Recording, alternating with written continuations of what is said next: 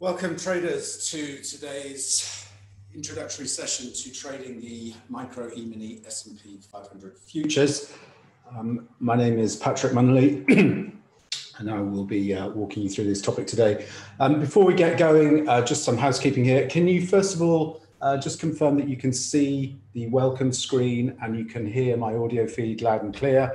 Uh, could you just type a Y into the chat box so that uh, I know we're ready to get going? Good stuff. Okay. Um, and just in terms of uh, questions, any questions you might have, if you could just make a note of the questions that uh, that come up uh, during the presentation, and at the end, I'll open it. I'll open up a uh, Q and A session, which uh, will allow you to post those questions, either to type them into the the chat, or I can unmute your uh, microphone if you have one, and you can speak to me directly. Okay, so like I said, welcome to today's introductory session to the E-mini and micro S&P contracts. In today's session, I'll be introducing you to the instrument structure and advantages, along with highlighting some unique market mechanics that enhance the trading information for this product. I will also introduce you to my core strategy for trading the E-minis and demonstrate how you can consistently use my pre-market analysis to reap consistent returns. But before we jump into that, let me just briefly introduce myself for those who uh, are joining me for the first time today. Like I say, my name is Patrick Munnelly, and after I graduated from King's College London, I joined a City PLC consulting firm. I ultimately left with some colleagues and went on to successfully co-found and exit a consulting startup, which was focused on C-suite executive search for technology businesses. Having a front row seat to the dot com bubble, witnessing people make and lose a fortune in the markets, sometimes quite literally overnight, I decided to explore my curiosity for markets. With some capital to play with and some time on my hands, I started day trading the S&P 500, or probably more appropriately, day gambling. After some early beginner's luck, I racked up some pretty solid gains. However, as is often the case, my uh, my beginner's luck ran out and as the market phase changed i began to average down giving back all my gains and ultimately experiencing a significant six figure financial hit. To say this was a gut wrenching sobering experience is an understatement. I had to stand back and figure out if it was feasible for me to make a living from the markets. So i decided to get serious about trading and sought out a mentor with an excellent trading track record Working with my mentor for a period of 18 months to two years, it was a time during which I upped not just my technical game, developing a strategy that crucially suited my personality, uh, extensively back and forward testing strategies, all of which were underpinned by a rigorous risk management approach. But most importantly, during the period of mentorship, I significantly developed my mental game. And probably the most important watershed shift I made was from being a highly goal orientated individual focused on financial gains to becoming purely process orientated. So, what does that actually mean? Well, it means I had to stop focusing on what I could make from the markets and start focusing solely on managing my mindset to allow me to consistently execute my trading strategy, oftentimes in the face of negative feedback from the markets in the form of losing trades. But once you become process orientated and have a professional trading mindset, and you understand the true nature of trading being a numbers game in which you're simply playing the probabilities, you lose the emotional investment and that hellish emotional roller coaster of living and dying by the outcomes of individual trades. I'm no longer concerned with the outcome of individual trades or even a string of trades. My focus is on the next 100 trades because I know if I focus on excellence in execution, my edge will demonstrate itself over an extended series of outcomes. My multi-strategy approach has delivered profitable annual returns since 2008. From 2013, I've also been managing investor capital through a managed accounts service, delivering annual positive returns. I'm currently responsible for managing a multi-million dollar portfolio. Since 2010, I've also mentored hundreds of private traders of all experience levels, from complete novices to former CME floor traders, in developing the technical and mental skills to reap consistent returns from the markets. In addition to my fund management and mentoring, I'm also a resident market expert, exclusively providing market and trade analysis to Tickmill. My other passion project, I guess, is leading trader education for a premier trading education brand called fxcareerswap.com, offering development and more importantly, funding to retail trading talents. At FX Career Swap, we don't just work on uh, developing retail traders' market and trading strategy knowledge, more importantly, we also work on mindset development through a structured program that culminates in managing the firm's capital at zero personal financial risk on a profit share basis. Okay, so that gives you a flavor of where I'm coming from. So let's jump into today's material. The E-mini or ES or mini is a futures contract that tracks the S&P 500 market index. It is traded on the Chicago Mercantile Exchange, the CME, via their Globex electronic trading platform. Trading is 23 and a half hours a day, five days a week, using the contract symbol ES.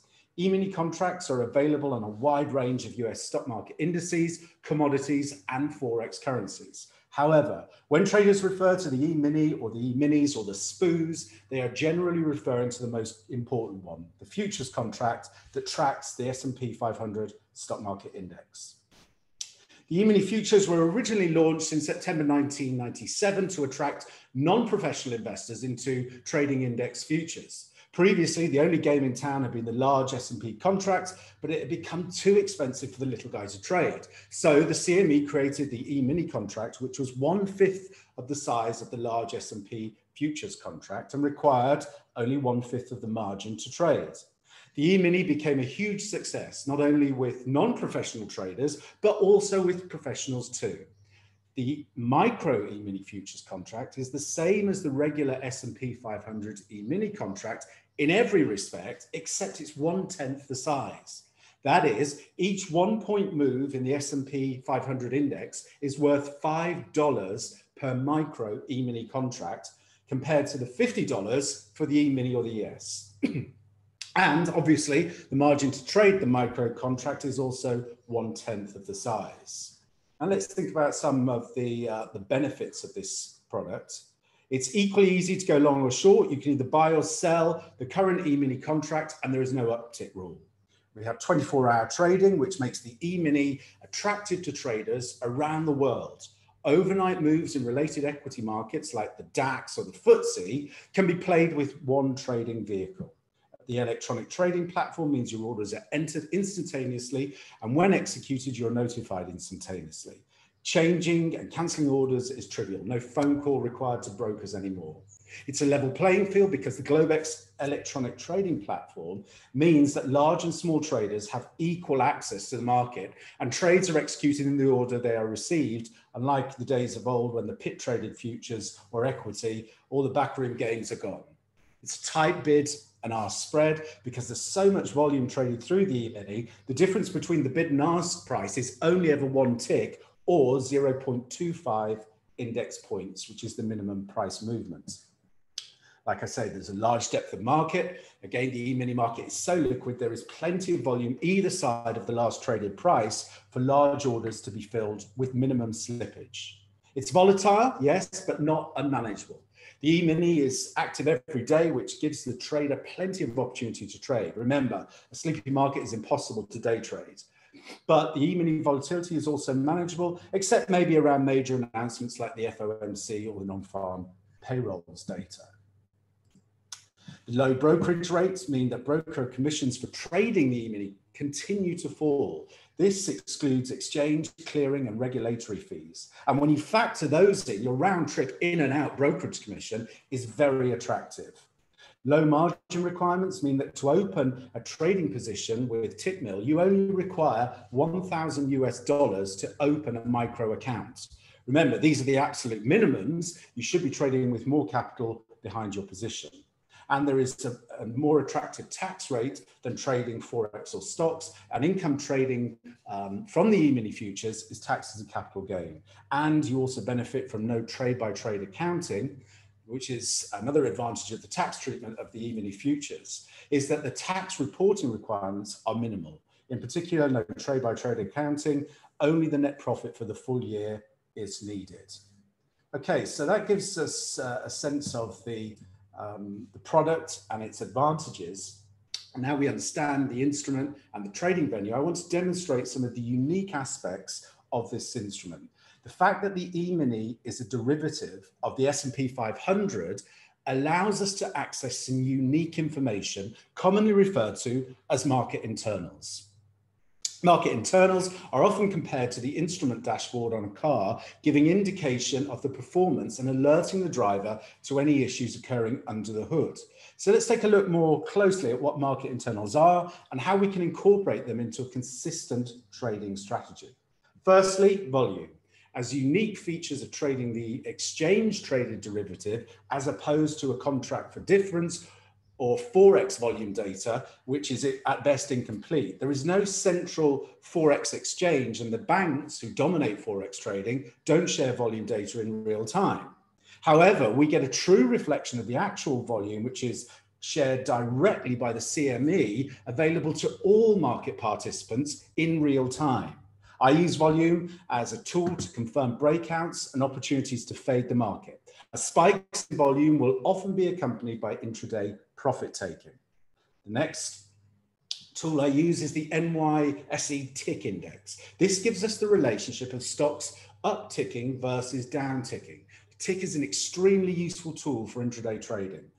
For example, if there are 3,000 stocks trading on the NYSE and 1,500 trade higher from their previous price and 500 trade lower, then the last price the tick will read will be plus 1,000.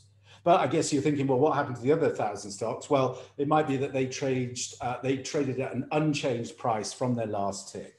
When using the tick, we are looking for extremes to enter or exit a trade. Tick readings of plus 1,000 or minus 1,000 are considered very strong, and we typically trade between 1,000 most of the time on the New York Stock Exchange. Tick readings within the 400 level, plus 400 or minus 400, more often than not indicate chop, and we want to ignore them. On a range day, we can look to fade tick extremes. Uh, I apply a moving average to make it easier for me to see the trend of the tick, the, or what I refer to as the tick distribution. Um, and when we get a high tick and a high in price at the exact same time, this could indicate the high of the day. When a high tick prints without a simultaneous high in price, we can continue to make new highs until a new high tick is reached. And obviously the reverse is true for the low tick followed by new lows. The next tool I use is the advanced decline line or AD line for short. It's the second most important of the internals. This indicator tells us the net sum of advancing stocks minus declining stocks. There are roughly 3,000 stocks listed on the New York Stock Exchange and 3,000 on the NASDAQ. An AD line reading of plus 1,500 is very bullish, and a reading of over 2,000 is extremely bullish. On the flip side, readings of minus 1500 and below are very bearish, and readings below 2000 are extremely bearish. These extreme readings are indicative of trending days, where once the market continues to trend all the way into the close, we look to the AD line in conjunction with the breadth ratio to confirm these trend days. For example, a day with 2,500 advancing stocks and only 500 declining stocks would yield a net positive of plus 2000, which is, as I say, an extremely bullish reading. It would take a large catalyst to shift the market direction with a reading this bullish. If on the open, you continue to see the advanced decline line moving, so it moves plus 500, plus 700, plus 900. This is a sign of market strength. if, however, the market is moving higher, but the AD line is moving lower, a divergence has occurred and could be a sign that the market is about to reverse. Last, but by no means least, the breadth volume ratio, composed of volume flowing into up stocks versus volume flowing into down stocks. The breadth volume ratio is expressed as up volume minus down volume. This reading is important in relation to where it has been, especially where we are now compared to where the day opened. So for example, if at 10 a.m. we have 10 million shares moving up and 5 million shares moving down, the resulting breadth ratio will be two to one positive. Twice as much volume is flowing into up stocks as down stocks. If at 10.30 a.m. the market has sold off, but we have uh, a breadth ratio of three to one positive, this is a signal that the markets are actually becoming stronger and it's time to look to buy into pullbacks for a long setup. So now we understand the market internals and the unique insight they provide. I want to briefly walk you through my strategy. By understanding the market context in which we are trading, I'm looking to execute two types of trades. Firstly, mean reversion in ranging environments, and then momentum trades in trending environments, always underpinned by the market internals. Every day, I plot pivotal support and resistance action areas that are derived from multi-time frame market auction theory and volume profile analysis. This allows me to avoid engaging the market in areas of heavy rotation or chop. Support and resistance action areas have three purposes. They can act as entry levels in mean reversion setups, which is the majority of the time. In directional or trend environments, the action areas act to confirm momentum breaks. And lastly, they can be used as targets for trades. I also note additional key data from the prior day price action. These levels are often important to define the bias for the day the previous volume point of control, the highest volume price from the previous day. This is where buyers and sellers perceive the price to be fair value for that session. I confirm the current market context. Uh, the, this lets us identify the dominant side of the market in the overnight session referred to as the Globex session, and then on a one to three day time horizon, a one to three week time horizon, and a one to three month time horizon. There are times when neither side is dominant, and it's important to assess how the cash session develops. I also highlight quantitative probability plays based on where the cash or regular trading hour session opens in relation to the prior days, either above or below or within the range. And these give key levels and the probability of price testing these levels over an extended data set. This can prove useful for trade entry, exit, and trade management. Lastly, I note volatility or range analysis as this helps to inform the current market context. Is the market in balance in relation to current uh, volatility? Equally, we can confirm a market out of balance and this can inform bias for the tra trading session ahead. It also helps to inform trade execution and trade management. So what I want to do now is take you through a few examples of how the combination of the action areas, market internals and data deliver an edge in the market. So let's uh, pull up an example day here. so like I say, these uh, the support and resistance levels are um, provided in advance of the cash session opening. So you have these before uh, the New York Stock Exchange opens at, uh, at 2.30 UK time. And so in, on this day, uh, what, what, you, what I also provide is a short video which, in which I highlight the high probability setups I'm looking at. So from this day, I highlighted that um, because of the market context, we were bearish on the overnight session, neutral on the daytime frame. Uh, what I was looking for here was a test and reversal from the initial resistance. So the markets opened up here, we traded into the initial resistance zone, and note that we had negative internals. So as we traded up into that resistance zone, the market under the hood was rolling over. We had a negative tick distribution, we had a negative advanced decline line, and we had negative breadth. So this was an opportunity to get short into the resistance zone. And then our target is the Globex session lows. Globex session is highlighted by this blue line here. And we traded down into that area for an 18.5 uh, point uh, trades to the downside. Another session where we opened up, uh, this session we were bearish and neutral to bearish on the near-term timeframes, but we were bullish on the longer-term timeframes.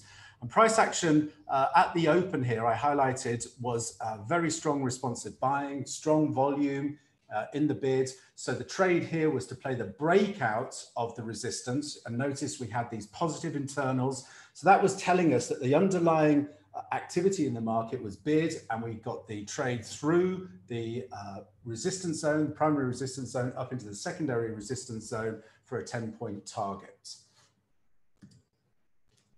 Next setup here, we were looking um, bearish on both the Globex and the near-term bias was bearish as well.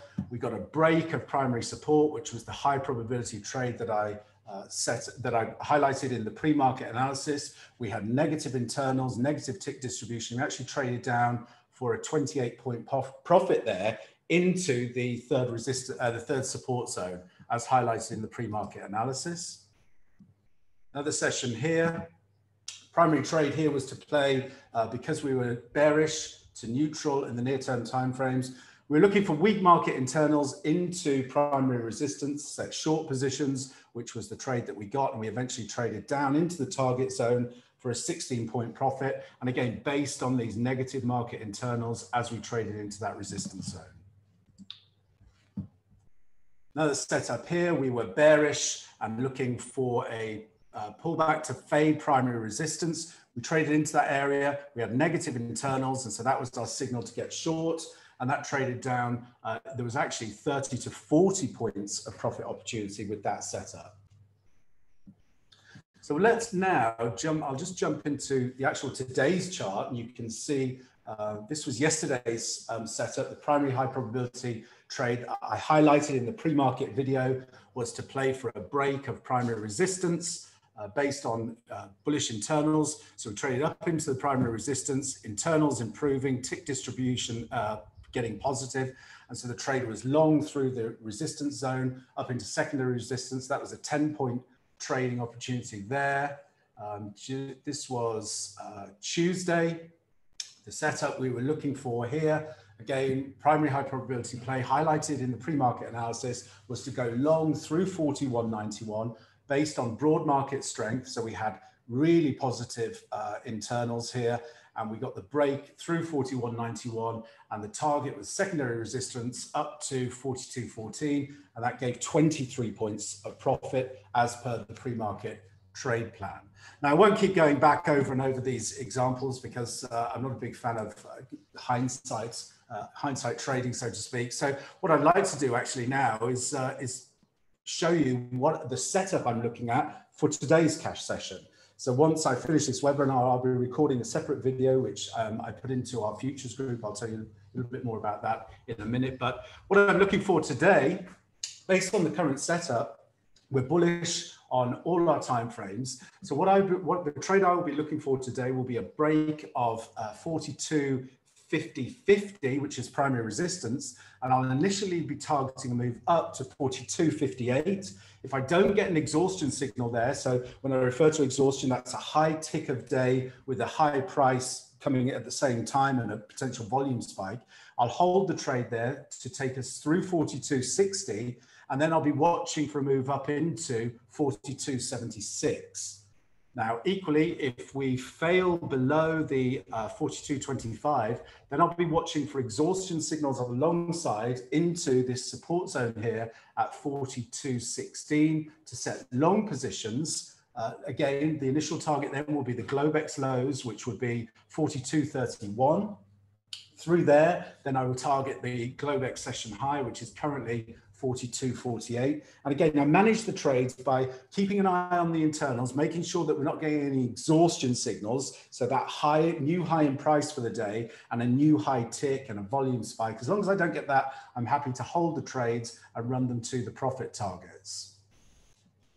So that's what uh, that's what I'm looking at for uh, for today's session. The only the only um, time I would consider getting short this market because of the bullish context that we've got will be on a break of uh, the 4202. If we get, if we trade through there and we have very weak market internals, so negative breadth, negative AD line and a negative tick distribution, all heading to the downside, then I'll be looking to be short through the uh, 4202 and my initial target on that downside trade will be 4187. Um, so those are the, the, the, trades that I'm looking at, the three high probability plays I see developing uh, for today's cash session. Like I say, I record a pre-market video. I'm going to sh show you now the, uh, the Tickmill Futures Group, where I highlight uh, the setups for the day ahead. You get a recording every day before the cash session opens. I also provide other trading information for um, each session. I update the trades as they develop in the in real time in the strategy group.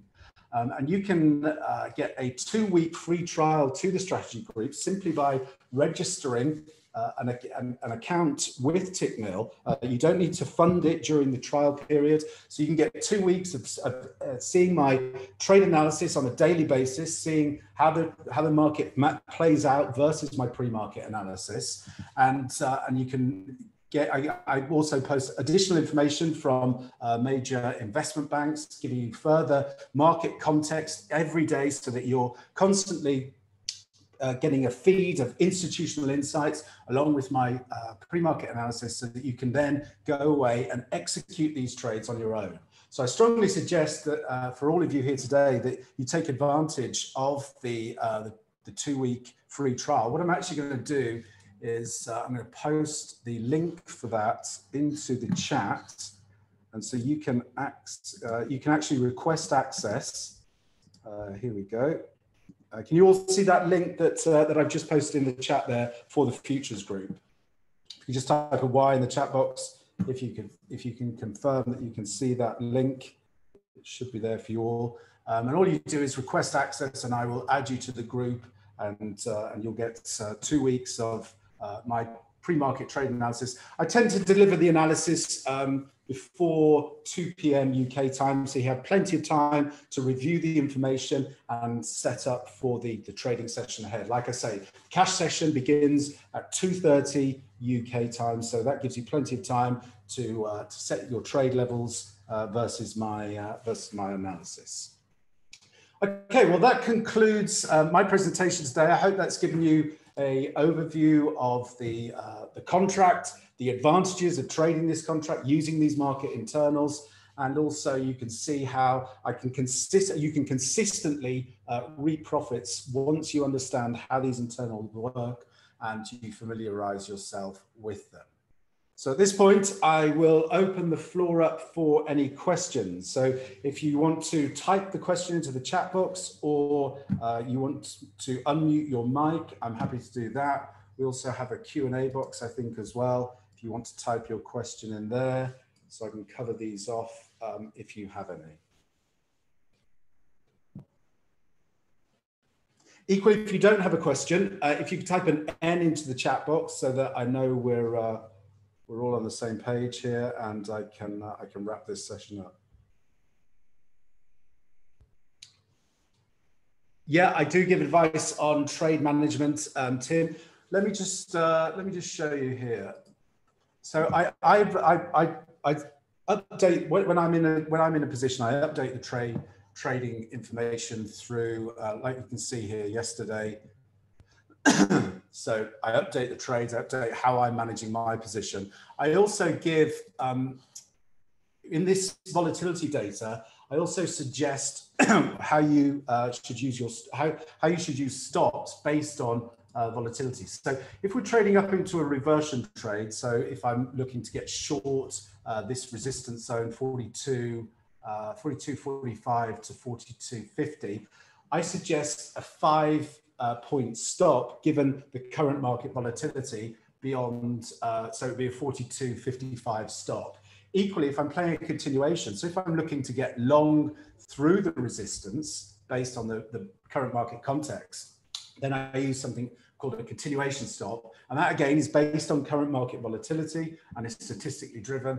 And that's currently 7.5 uh, points. So I, I, certainly do give um, trade. I, I, I give uh, the trading parameters. I, am very specific about the levels that I'm looking to uh, to enter and exit trades, and I also suggest how you manage your stops. And then, when in terms of the actual trade management, like I said, what I'm looking for um, to exit my positions, or more often than not, I'm, I'm either going to let them trade to the target, or if I get an exhaustion signal, um, that suggests that there's a potential for a reversal against my current position, I will just cut the trade with whatever profits I have at the time that we uh, we get an exhaustion signal. But like I say, I do uh, I do update the positions in uh, in the strategy group, so uh, you can you can always see pretty much how I'm managing my trades. Does that make sense, Tim?